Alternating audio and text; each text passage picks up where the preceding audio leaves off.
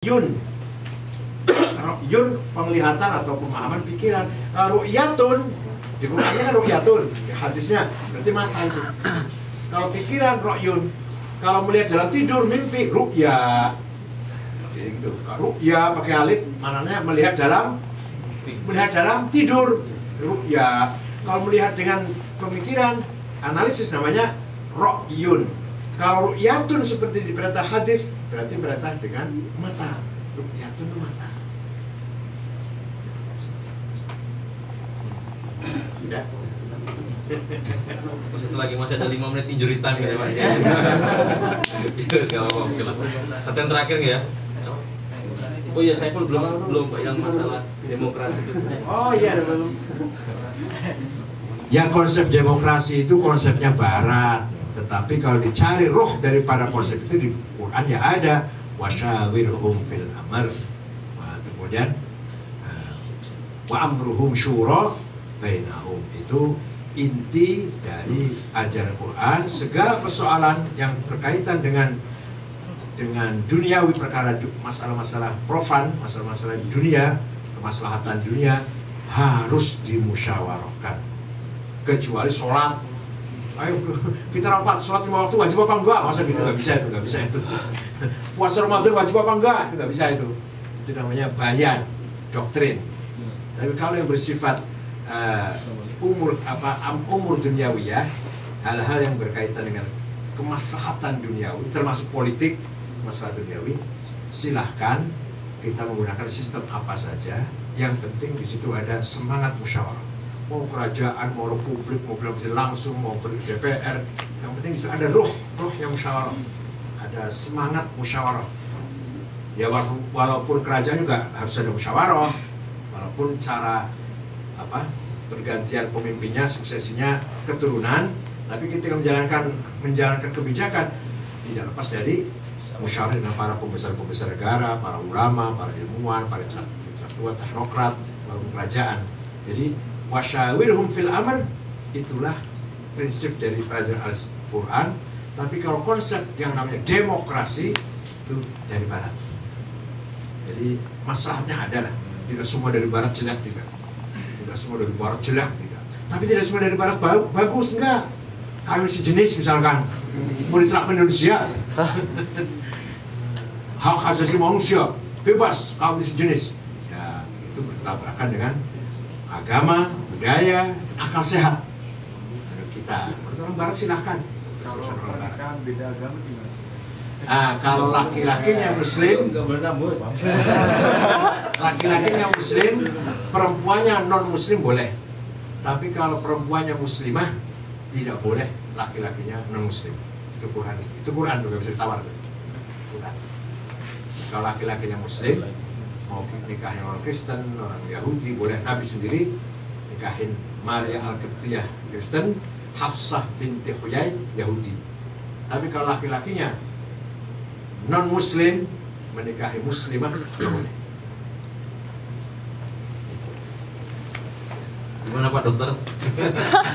Apa tulis surat aja nanti saya sampaikan di kamar. Gimana Pak satu cerita boleh? Kira satu yang terakhir ya, Insya Allah jamaah. Makanya kan saya bilang kan rebutannya malah terakhir-terakhir kan, tapi nggak apa-apa. Terakhir, monggo Pak Dokter. Ya, ini yang sering kita hadapikan sama teman-teman yang dari Wahabi. Iya. Wahabi itu kan sering memakai hadis itu kan yang uh, wa kullu muqtadahin bid'ah wa kullu bid'atin dolalah wa kullu dolalatin finnar. Itu yang sering didengung-dengungkan oleh orang-orang Wahabi. Bagaimana Lafal, lafal kullu tidak berarti setiap. Contoh di Quran banyak banget. Cuma itu banyak banget. Nah, wa kana maliku ya'khudhu kulla safinatin wasba. Di sana ada raja yang diktator, yang zalim, yang merampas setiap perahu. Mau sedunia dirampas perahunya. Enggak, yang lewat saja. Jadi pada itu kullu tuh, pada itu kullu kan. Kulla safinatin jadi lafal kullun di hadis atau di Quran tidak berarti setiap. Bahwa bid'ah itu ada yang dolalah, iya. Tapi tidak semua bid'ah itu dolalah. Karena eh, bid'ahnya ilmu pengetahuan, Nabi nggak, zaman Nabi nggak ada ilmu nahu, nggak ada ilmu sorof, nggak ada ilmu balaghah, ilmu tafsir, ilmu mustalah hadis, ilmu tajwid, nggak ada zaman Nabi. Nah, apa itu bid'ah jelek? Bid'ah baik. bid'ah tapi yang itu yang, yang tidak dolar oleh karena itu lafal kullun walaupun maknanya setiap tidak berarti semuanya tidak di Quran juga banyak. Lafal kullun yang tidak berarti semuanya. Maka nawara'ahu maliku ya'khudhu kulla safinatin gosba di sana ada raja yang merampas setiap perahu. Masa perahu sedunia dirampas oleh raja itu? Kan tidak. Perahu yang lewat gitu yang lewat jadi tidak semua lafal kullun berarti satu-satu semuanya. Terus kriteria yang dolala itu gimana? bid'ah dolalah Iya. yang bertentangan dengan roh agama bertentangan dengan jiwa agama itu yang dolalah misalkan eh, menafsiri Quran semuanya sendiri padahal tidak mempunyai perangkat yang layak untuk menafsiri Quran tapi dengan hawa nafsunya dan banyak kan yang sekuler itu yang liberal itu itu yang dolalah itu. Jadi kalau orang memberanikan diri memberi tafsir Quran harus mempunyai perangkat yang cukup. Paham bahasa Arab paham nahu dan balaghah paham istiqaqil alfad apa namanya apa namanya lupa. Banyak ilmu saraf itulah alhasil kosakata kosakata Arab paham asbabun nuzul turunnya ayat itu. Paham kapan diturunkan ayat itu siang apa malam gimana terus baru boleh menafsir Quran. Tidak asal orang boleh menafsir Quran tidak. Itu kalau ada orang gegabah nafsir Quran kemudian mengikuti hawa nafsunya itu antara contoh bid'ah yang dolalah Barakallah Saya pikir sudah banyak ya tadi dalam kurang lebih sekitar satu jam. Moga-moga yang sudah dijawab pertanyaannya bisa tercerahkan. Seperti saya walaupun nggak nanya itu juga ikut tercerahkan sama teman yang lain. Kurang lebih seperti itu. Jadi yang baru datang masih penasaran ada sesi kedua besok. Tapi rebutannya lebih banyak lagi. Jadi ya begitulah.